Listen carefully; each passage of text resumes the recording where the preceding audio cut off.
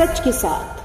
उत्तर प्रदेश अनुसूचित जाति, जनजाति आयोग के अध्यक्ष डॉक्टर रामबाबू हरित ने कहा कि धोबी की समस्याओं व शिकायतों का प्राथमिकता के आधार पर समाधान कराया जाए। समाज की मांगे शासन के सामने रखी जाएँगी।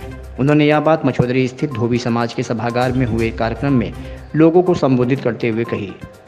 जिला धोबी घाट बचाव समिति के पदाधिकारियों ने आयोग के अध्यक्ष से शहर में धोबी घाट के संचालन में आ रही दिक्कतों को रखा। समिति के अध्यक्ष नंदूलाल कन्नौजिया व महामंत्री रजनीश कन्नौजिया ने कहा कि नगर निगम ने नौ धोबी घाट बनाने की बात कही थी। शिवपुर, माधोपुर रमरेपुर में संचालन नहीं हो रहा है। मछोदरी में बिजली मीटर लगा है, जबकि नगर निगम से अनुबंध में बिजली का खर्च धोबी समाज को नहीं देना है। इस कारण आर्थिक दिक्कतों का सामना करना पड़ रहा है। राजू कन्नौजिया ने कहा कि गंगा को निर्मल रखने के लिए धोबी घाटों की शुरुआत हुई थी, लेकिन निगम प्रशासन इस ओर उदासीन है।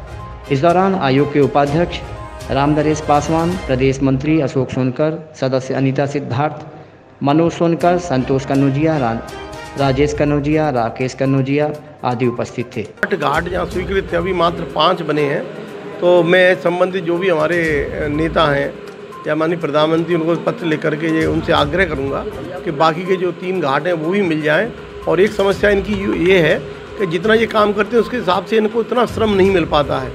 तो यहाँ जो बिजली का मीटर लगाया, मीटर लगने की वजह से जितना कमाते हैं उसमें काफ़ी कुछ पैसा तो बिजली के उसमें चला जाता हुआ इनका खर्चा ज़्यादा आ जाता है, उनके बहुत ज़्यादा कम नहीं हो पाती है। तो इसको भी नगर निगम, या अपना जल संस्थान इसको अपने साथ जोड़ ले तो एक तरह वो सेवा हो जाएगी इन लोगों की। पानी इनको मिल जाएगा फ्री में तो एक सेवा हो जाएगी जिससे इनका भी आर्थिक उत्थान हो सकेगा, इनका भी आर्थिक स्थिति ऊँची हो सकेगी।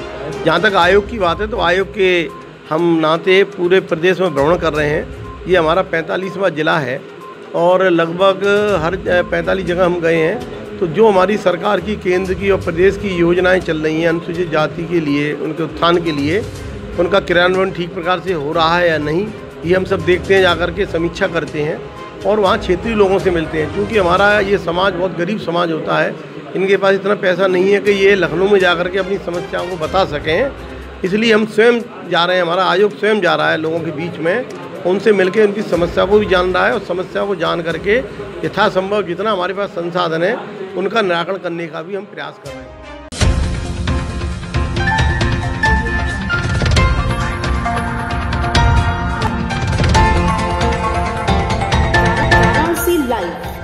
सच के साथ।